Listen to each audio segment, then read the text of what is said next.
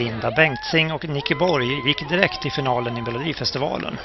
Vi var med när kvällens vinnare firade på efterfesten i Malmö.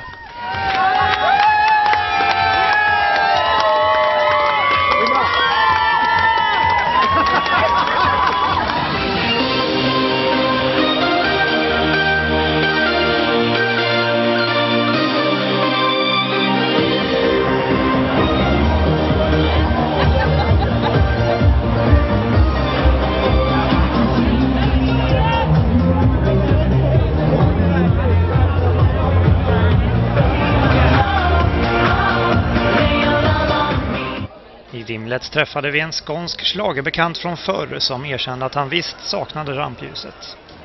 Himla bra låtar, bra kvalitet, man levererar. Och sen tyckte jag att det var himla kul att komma en rockballad till finalen. Eh, För mig var Linda ganska klar, en riktigt god slager. Som jag sa när vi snackade med grabbarna. Det här blir man ju så jäkla glad av. Linda va? Hon bara, wow, hon bara går rätt igenom rutan så. Alltså jag fick ju äran att vara där liksom fyra år på raken och sen så att jag kommenterade i rutan lite sådär. Och det är klart, man får ju sånt jäkla sug alltså.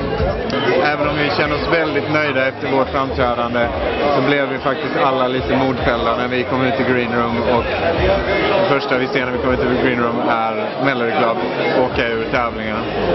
Och det blev faktiskt lite smolk i bägaren på oss. Vi hade hoppats väldigt mycket på dem.